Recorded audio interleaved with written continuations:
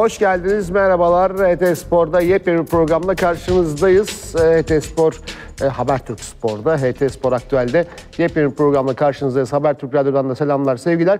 E, gerçekten bugün aktüel programında aktüel olmayan ama aktüalitesi e, en azından 100 yıldır geçmeyen, çok büyük bir, 101 yıldır geçmeyen çok büyük bir e, isimden tahmin edeceğiniz gibi Ulu Önder Gazi Mustafa Kemal Atatürk'ten söz edeceğiz. Ne alaka? Alakayı şimdi konuğumuz kuracak. Sayın Rıfat Baltoğlu hoş geldiniz. Hoş bulduk. Nasılsınız? Teşekkürler. Ee, ne alaka şimdi spor dedik, e, aktüel dedik, Avrupa Futbol Şampiyonası'nda cayır cayır yarın milli maç var ama siz çok önemli bir şey yaptınız. Ee, laftaki barışı müzeye koydunuz. Evet, biraz Ne öyle yaptınız? oldu. Kimsiniz? Öyle başlayalım. Hoş geldiniz tekrar. Sayın Mimar aynı zamanda ressam. Sayın e, Rıfat Baltoğlu ile birlikteyiz. Söz sizde. Sağ olun. Ne yaptınız? Ben mimarım aslında. 30 yıllık mimarlık yapıyorum. Bu sene 30. yılımı kutluyorum. E, mimarlığın yanında da e, resim ve heykel yapıyorum.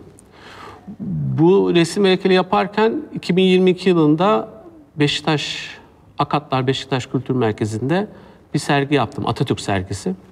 Cumhuriyet altının çok büyük boyutlarında e, Atatürk'ü resmettim. Bunu yaparken de amacım şuydu. Atatürk'ün bize verdiği önemli günleri renk ve büyüklük olarak değişik şekillerde resmetmekti. 2022 29 Ekim'de bu ilk sergimi yaptım. Bu sergide Beşiktaş benim 10 Kasım is- e, 10 Kasım isimli eserimi aldı. Neden 10 Kasım? Hem çok onu büyük yapmıştım hem de simsiyahtı. E, Türk tarihinin en önemli bence en kötü günü. Onu simsiyah yaptım. Beşiktaş da çok beğendi. Bunu müzesine koydular. İlk 2020, şey, 2022'de Beşiktaş Müze'ye koyduktan sonra bu süre içinde ben dedim ki e, bu Atatürk'ün, Atan'ın Fenerbahçe ve Galatasaray'da da olması lazım diye. Ben iki kulübe de başvurdum. E, bunları size hediye etmek istiyorum diye. E, hem Fenerbahçe hem Galatasaray beni çok iyi ağırladı. Yani bu benim eserimin Görüntüyle gidelim. Bu görüntüdeki e, Cumhuriyet altını resmet şu aradaki figürler nedir? Bize e, sanatsal açıdan Sayın Dursun Özbek'in ve sizin arkanızda kalan figürler. Şöyle- Bir geri alalım mı? Rica edelim mi? O beni anlatması için istirham ediyorum yönetmenim. Bu arada Beşiktaş tarafı. Niye Beşiktaş'ta müzede değil onu da e, konuşacağız biraz Evet. sonra. Bu da Fenerbahçe tarafı. Çünkü Galatasaray'a gelmemizin sebebi onu tam anlayabilmek için. Tamam. Ne anlattığınızı tam anlay. Bu da Fenerbahçe'de var mı aynı şey? Aynı şey. Benzer. Tamam burada kalalım o zaman. Ne anlatıyorsunuz burada? Aynı ne var şey. orada Atatürk'ün Burada, kafasında? e, normal bizim bildiğimiz Cumhuriyet altının aşağı yukarı 45 misli büyüklüğünde bunlar. 180 çapında. E, orijinaliyle birebirdir.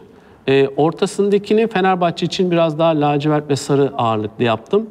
E, buradaki akrilik malzeme e, içindeki mastik, silikon birçok şeyi karıştırarak yapıyorum ben. Ve e, sadece yüzünü boyadım. Bir normal altın formunda korudum.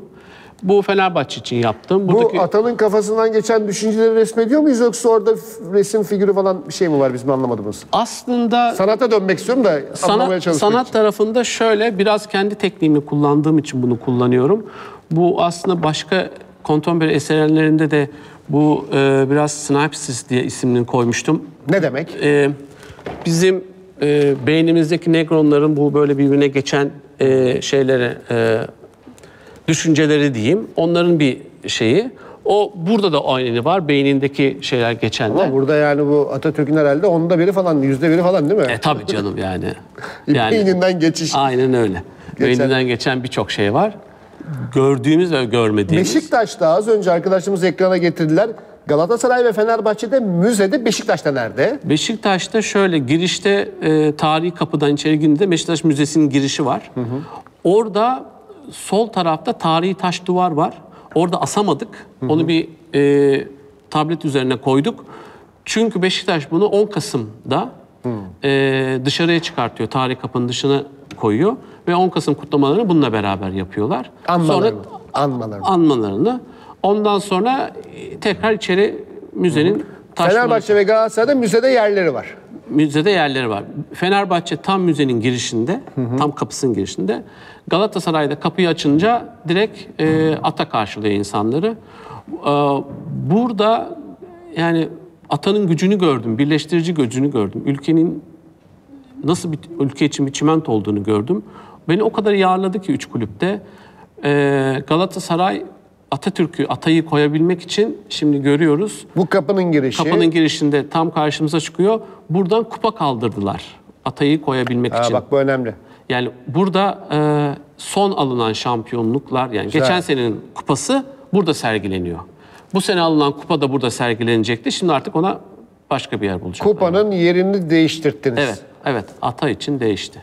Peki bu Galatasaray Fenerbahçe'de aynı figürler mi kullanıldı yoksa farklı farklı figürler mi? Renk dışında bir farklılık var mı? Yok, renk dışında farklılık yok. Fenerbahçe için lacivert sarı, Galatasaray için şey kullan. Beşiktaş'ta siyah beyaz değil, simsiyah. Evet onu biraz sonra Beşiktaş'ta zaten görüntülen arkadaşlarımız ekrana gidecekti ama Beşiktaş'ta tarihi duvara çivi çakılamadığı için Evet, oraya koyuyoruz. orada kalıyor. Dayıyoruz daha doğrusu. Ve Galatasaray ve Fenerbahçe müzelerine gidenler e, Rıfat Bey'in bu ata eserlerini peki niye Cumhuriyet altınının içine koymayı tercih ettiniz? Heh, burada Beşiktaş'ta onu söyleyelim. Evet, gösterelim. buradan işte ana Giriliyor. giriliyor. Şeyi görünce bir duralım. Burada bir duralım. Heh, Beşiktaş'ta da burada. Evet, Gişeye bu- gelmeden. Evet, ana gişe, giriş. müzenin girişi orası. Sol tarafa koyuyorlar. Burası tarihi duvar olduğu için de buraya asamıyoruz. Eyvallah. Bu da 10 Kasım'larda anma için dışarı çıkar. Dışarı çıkartıyorlar, Peki taşıyorlar. e, yani normal bir figür olmasını herhalde şeyden dolayı istemediniz. Cumhuriyet Atalyara falan gibi. Yani şöyle ben bunu ilk ofisim için bir Atatürk resmi koymak istiyordum ama kalpakla bizim bildiğimiz klasik siyah beyaz fotoğraflardan koymak istemedim. Tasarımcıyım dedim, resim yapıyorum. Kendime özgü bir şey yapmak istiyorum dedim.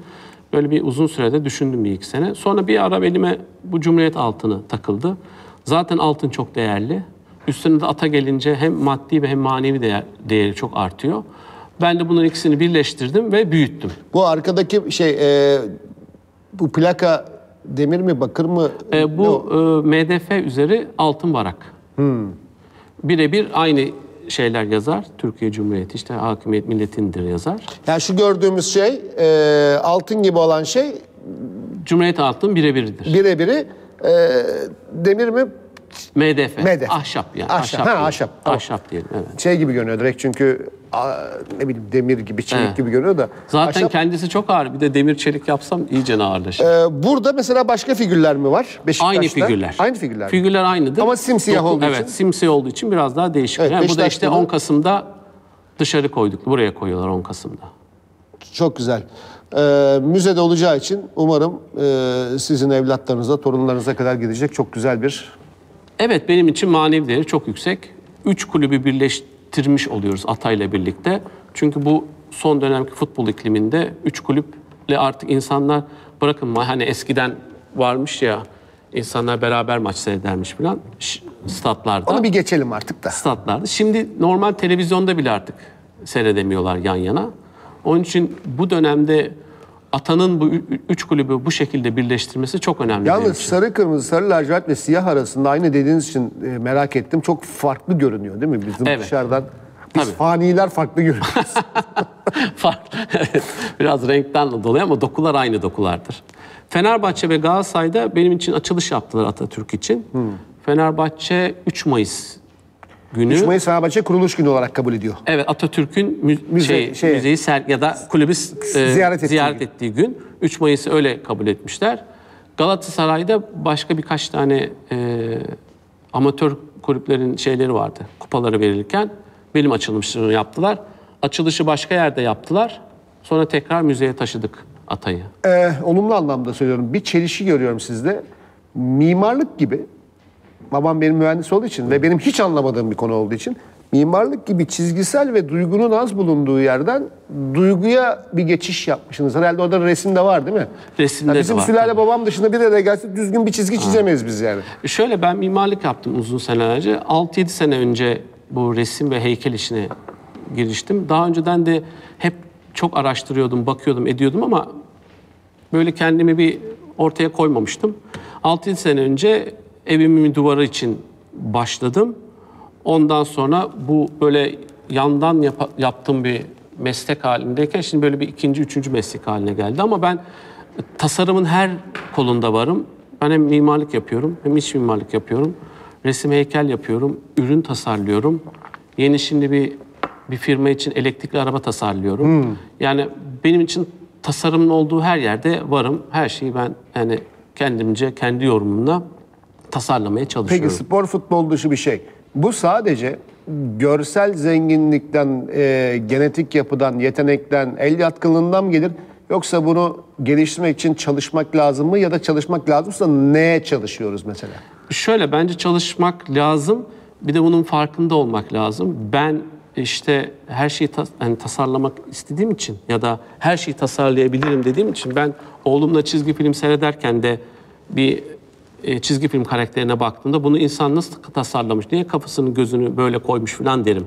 Kendim bir gün çizgi filmde yapabilirim yani tasarlayabilirim. Onun için ben her ürüne, her hayata daha doğrusu böyle çok geniş bakıyorum ve yani buraya geliyorum işte bu lambalar bir gün stüdyo yapmadım hiç. Stüdyo yaparsam nasıl ışığı koyarım, Aa, ne yapmışlar diye burayı ben İyi de atıyorum içine. ışığın yerini bilmezsiniz. Ya bilem o, o- ama o yapacağım gün araştıracağım ve mühendislerle bulacağım şeyler ama ben her gittiğim mekana her şeye çok araştırarak bakıyorum. Yani bence bu çalışmak çok önemli, cesaret çok önemli. Ee, dediğim gibi yani bu biraz da istek. Şeyi sorayım şimdi aklıma geldi.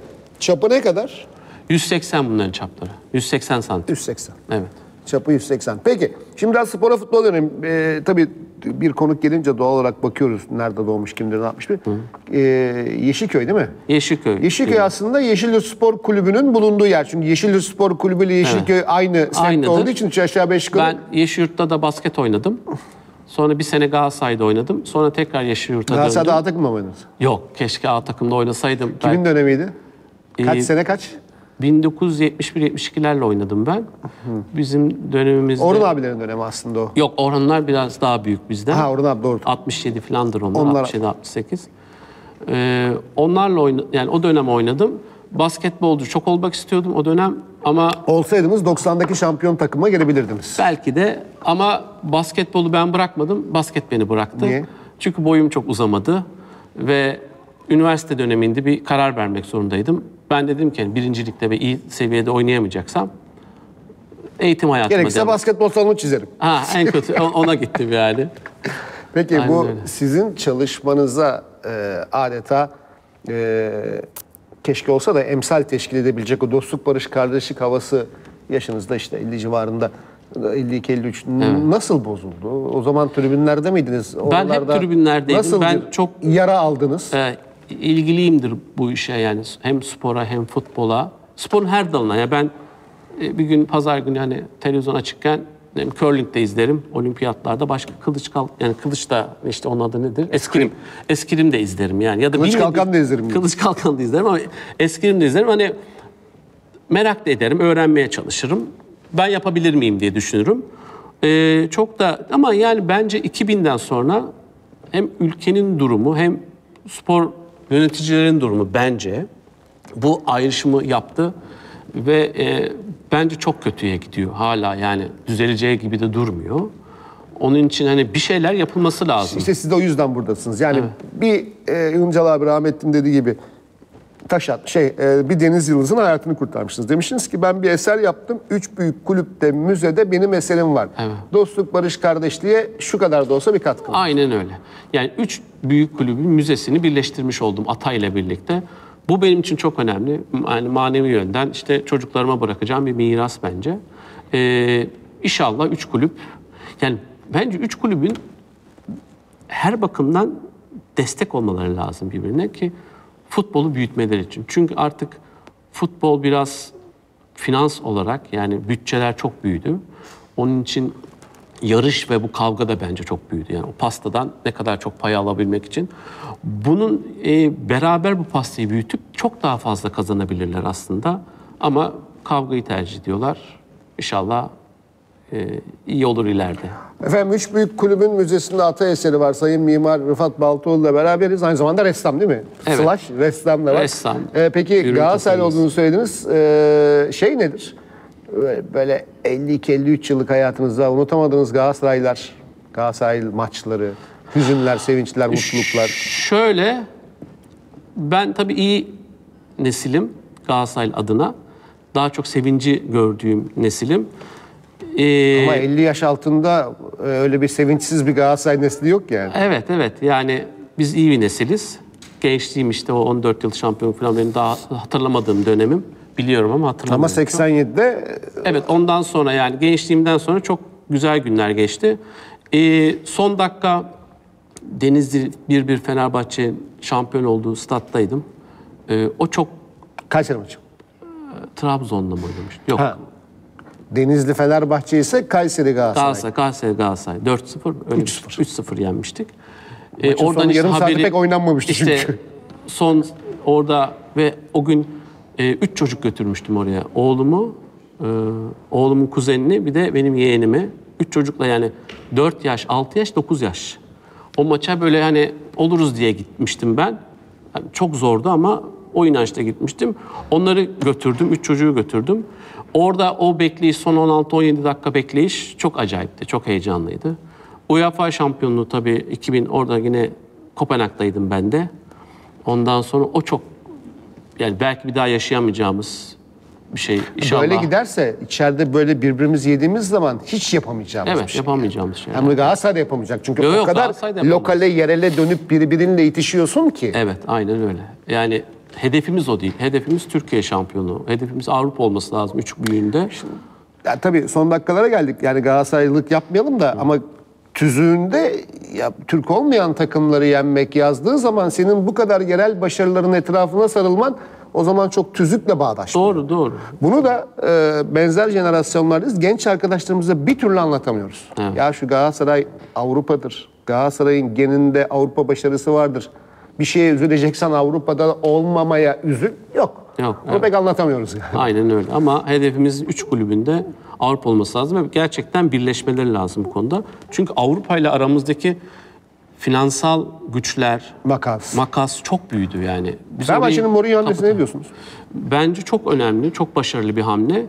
Ee, başarılı da olacağını zan, yani hissediyorum. Çok büyük bir hoca. Ama burada e, şeyler öne çıkmazsa aralarındaki yani başkanla, ondan sonra yönetimle, Mourinho'yla e, güç savaşları Öyle bir risk mi görüyorsunuz? ben görüyorum. Yani e, şeyler çünkü e, hepsi çok güçlü isimler. Ondan sonra e, arada o şeyler çıkabilir gibi geliyor. Peki Galatasaray'da Erdem Bey sonrası için şimdi şunu spor programlarımızda bol bol daha konuşacağız. Şunu çok net biliyorum. Görüyorum, düşünüyorum, analiz ediyorum değil. Galatasaray futbol bu. Olası 3-4 maç kaybettiği zaman vay Dursun Bey sen Erdem Bey'i gönderdiğinde sonuç bu oldu da bak olmadı da Okan Hoca da yalnız da O olur bence ama e, yani bu hep var. Yani başarılıysan her şey unutuluyor. Okan Hoca için de yani e, iki sene Okan Hoca başarılı olmasaydı Fatih Hoca bir yerde çalışmadığı sürece Galatasaray'ın antrenörü tehlikelidir. Tehlikededir yani. Çünkü üç maç kötü giderse Fatih Hoca gel. Hocayla var mı muhabbetiniz? Fatih Hoca'yla. Yok.